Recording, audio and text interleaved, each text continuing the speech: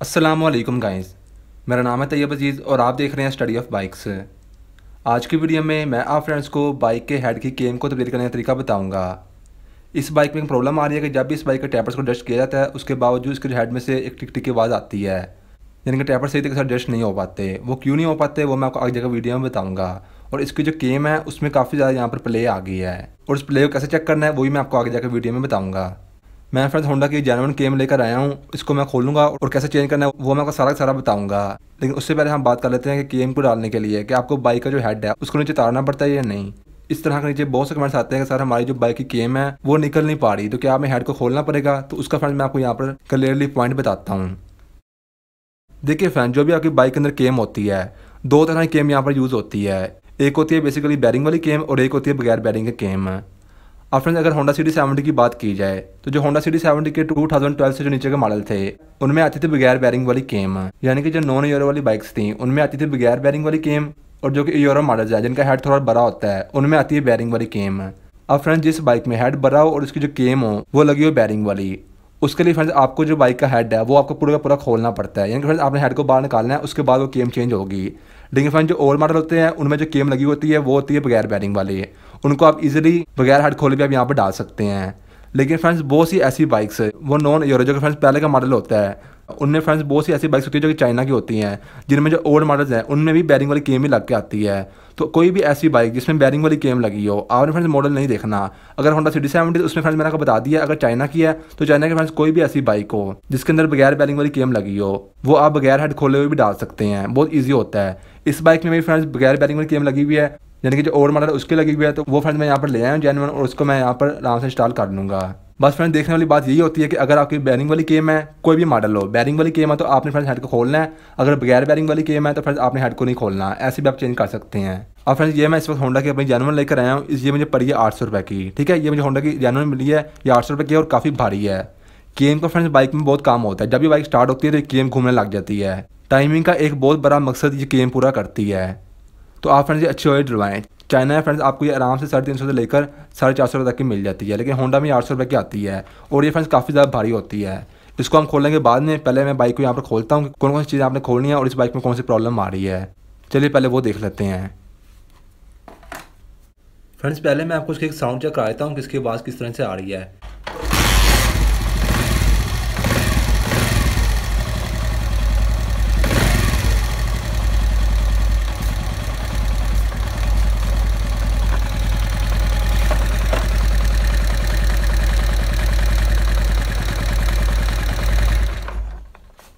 सबसे पहले फ्रेंड्स जो मैगनेट कवर है, इसको हम उतार लेते हैं।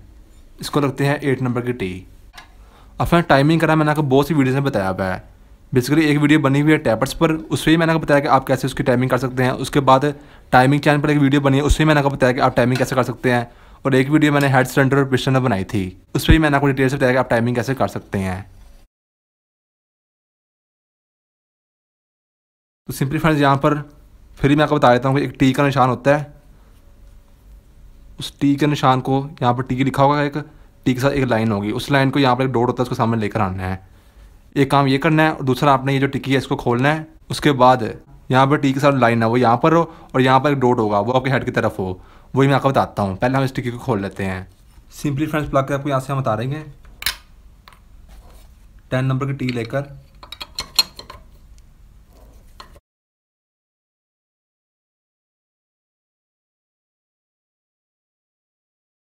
और सिंपली इस साइड से फ्रेंड्स ये हम गोल टिक्की को उतार लेंगे। हमारे फ्रेंड जो टी का निशान है, वो आपने सामने रख कर तो ये देखिए, ये जो इसका एक डोर बना हुआ है ना, ये देखिए, ये इसके सामने जब आता है तो टाइमिंग आपकी हो जाती है, ठीक है? फ्रेंड इस प्रोकेट को उतारने से पहले मैं आपको इसको दिखाता हूँ, यहाँ पर पहले भी इसकी कितनी ज़्यादा प्ले है, वो भी आप देख लें यहाँ पर। ये देखिए फ्रेंड मैं इसको इस तरह पकड़ता हूँ, और ये देखिए, ये बिल्कुल आराम से आगे पीछे हो रही है, ठीक है? तो ये यहाँ पर काफ़ी ज़्यादा लूज़ है। इससे होता क्या है, वो मैं आपको बताता हूँ। उससे पहले फ्रेंड्स मैं इसका टैपर कवर भी खोल लेता हूँ।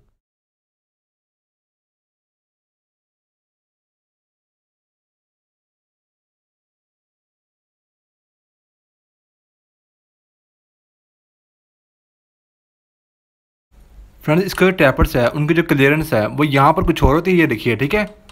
और जैसे ये थोड़ी आगे का करता हूँ मैं, इस तरह ये देखिए। ठीक है? तो यहाँ पर जाके थोड़ा टाइट हो जाते हैं। तो फ्रेंड्स होता क्या है कि जो वाल्स है और जो उसका टैपर एडजस्टर है, उसकी जो क्लियरेंस है, उससे फ़र्क आ जाता है, ठीक है? टैपर से मैंने डिटेल से वीडियो बनाई हुई है कि कौन से कितने एम के अपने फ़ील्ड के यूज़ करनी है, कौन से मॉडल के लिए।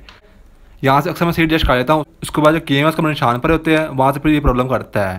तो अब मैं इसे खोलता हूँ, मजीद केम को बाहर निकालता हूँ और फिर हम देखते हैं।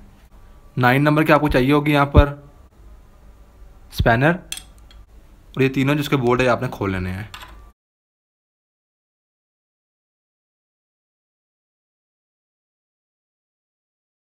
फ्रेंड्स एक दो हमारे बाहर को टाप पर यहाँ पर ले आते हैं, क्योंकि अभी लूज़ हो गया है ताकि केम हमारी आराम से बाहर को निकल जाएगी।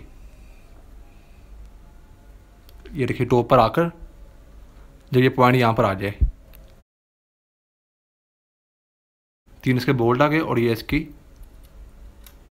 ये वाशर ठीक है? आप सिंपली फ्रेंड्स हम किसी भी चीज़ से प्रेस करेगा तो ये इसकी जो गराड़ी है यहाँ से उतर जाएगी। ठीक है?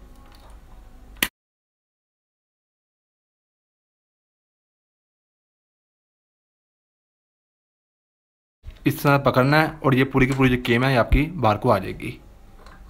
अब फ्रेंड इस गेम का मैं आपको दिखाता हूँ।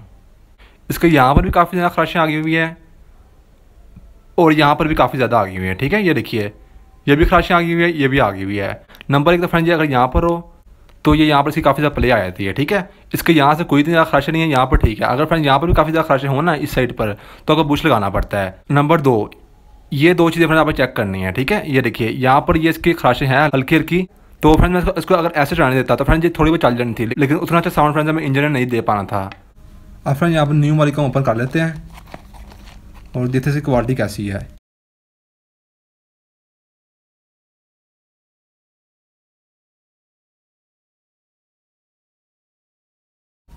जो ये वाली है ना केम ये इसकी ओरिजिनल है, ठीक है? पुरानी वाली तो ये नई वाली भी ओरिजिनल है।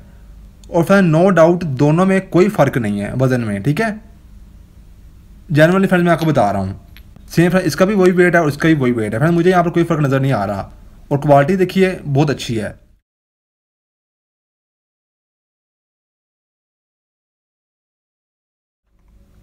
आप यहाँ पर इसकी प्राइस जो है वो देख सकते हैं। आठ सौ रुपये चलिए, अब इसको डालता हूँ मैं।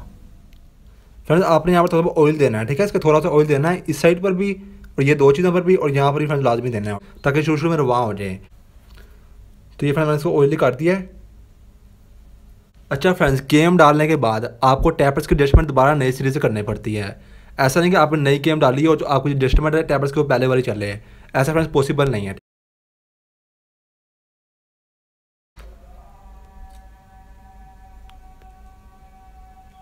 आप फ्रेंड सिंपली आपने जो उसका ये सुराख होगा, जिसके अंदर चूड़ी नहीं बनी होगी, ये आपने तकरीबन इसके पास लेकर आना है, यहाँ पर ये सुराख सा बना हुआ है, ठीक है? तकरीबन फ्रेंड्स यहाँ पर आएगा। उसके बाद पीछे से मैगनेट टी पर हो, यानी कि टॉप पर हो, और इसको हमने यहाँ पर जो निशान मैंने आपको पहले बताया था, उस साइड से मैंने दिखाया था आपको, यहाँ पर जो है निशान एक होगा, उसको सामने आएगा। सिंपल जब इसके इक्वल आ जाए, जो चैन है, इसको आपने इसको ऊपर छा देना है।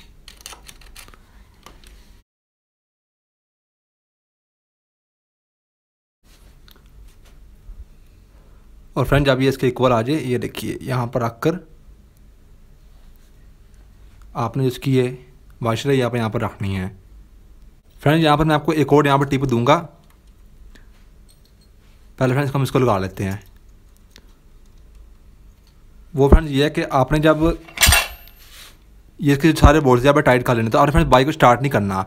टैपर से फ्रेंड आपने एडजस्ट करने ही करने हैं, लेकिन उससे पहले फ्रेंड्स आपने एक और चीज़ चेक करनी होती है कि आपको जो मैगनेट है, आपने पूरा इसको घुमाना है मैगनेट को, ताकि ये पूरा यहाँ पर घूमे, ठीक है? अगर आपकी टाइमिंग सही से ना हुई हो तो क्या होगा कि यहाँ पर कहीं आके फंस जाएगा तो जहाँ फंसेगा तो आप उसके बाद दोबारा से इसकी टाइमिंग कर सकते हैं। अदरवाइज़ फ्रेंड्स अगर आप इसको बगैर चेक किए हुए आप किक लगाते हैं तो उसका जो वाल है, वो टेरा हो सकता है।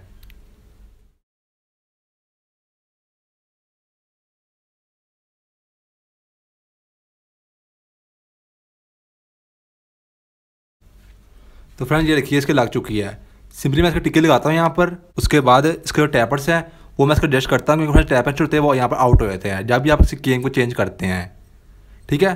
तो अब मैं इसके टैपर्स करता हूँ। मैंने वीडियो बनाई हुई इस पर वो जगह आप देख लें। तो टैपर्स करने के बाद इसके मैं आपको साउंड चेक कराऊँगा।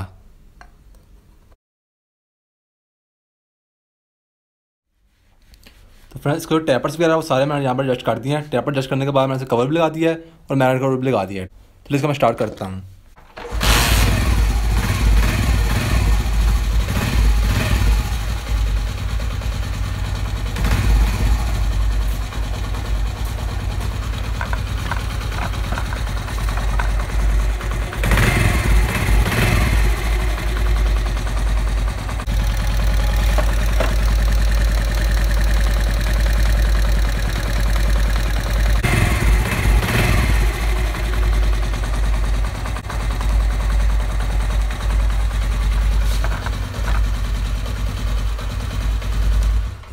तो फ्रेंड्स मैंने आपको उसकी साउंड चेक करा दी है। बस यही थी आज की वीडियो मेरा नाम है तैयब अज़ीज़। आई होप आपको वीडियो अच्छी लगी होगी। Thanks and bye bye